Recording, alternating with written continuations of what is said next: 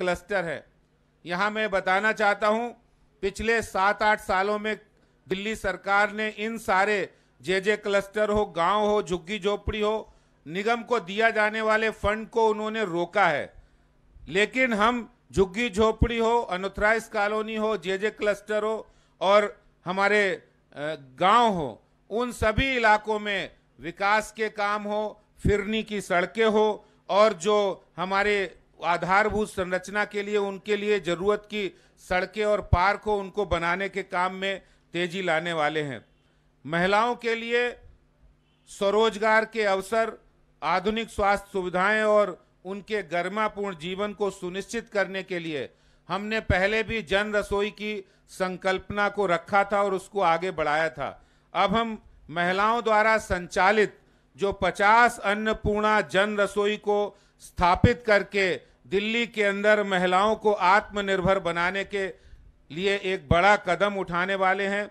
130 महिला स्वास्थ्य केंद्रों में अत्याधुनिक सुविधा से युक्त, उसको निशुल्क सुनिश्चित करेंगे और उनमें महिलाओं के लिए निशुल्क आयरन और विटामिन की टेबलेट होंगी।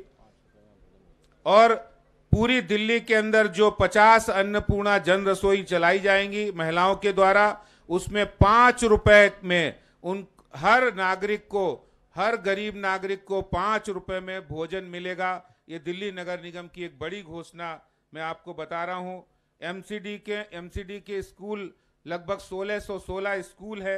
उसमें जो बच्चियाँ पढ़ती हैं, जो प्रतिभाशाली हैं, मेधावी हैं, उनको मुफ़्त साइकिल और उच्च शिक्षा के लिए उनको मासिक स्कॉलरशिप का भी प्रावधान दिल्ली नगर निगम हमारे संकल्प पत्र में है, जिसको हम पूरा करेंगे।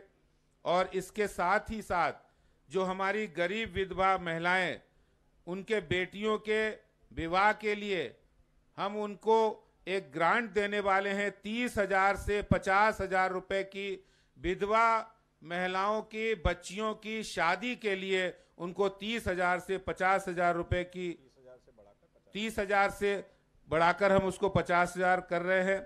और इसके साथ नौमी हमारा संकल्प है युवाओं के स्वरोजगार के नए अवसर 2027 तक। निगम के 1616 सभी स्कूलों को स्मार्ट क्लासेस में परिवर्तित करेंगे। Smart school